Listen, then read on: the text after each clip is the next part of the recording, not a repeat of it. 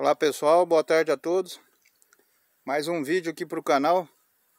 Dicas do Vovô Coruja. Vou mostrar para vocês o piqui. Uma fruta aqui do Cerrado. É o chá da, dessa fruta, da folha dessa fruta. Ele é muito bom para quem está com asma, aquela falta de ar, bronquite é gripe, essa gripe comum que dá aí durante o, o ano, é, coqueluche, aquela tosse enjoada, aí você toma o chá da folha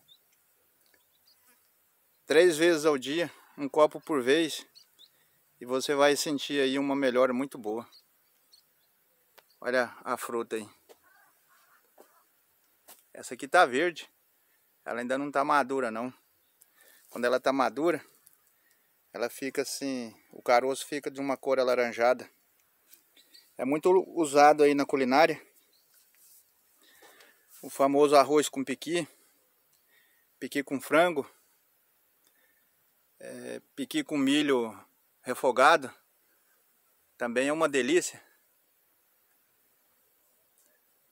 O óleo também do caroço do piqui é usado aí na indústria farmacêutica. É, também é um excelente anti-inflamatório, o óleo do piqui. Você encontra aí na, nas farmácias. Olha, olha aí que beleza. Olha esse outro pé aqui. Esse aqui já não tem nenhum fruto. Ainda Ainda não deu flor ainda não. É um, uma árvore mais nova.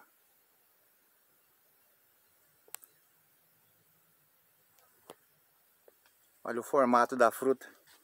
Vou chegar mais perto aqui.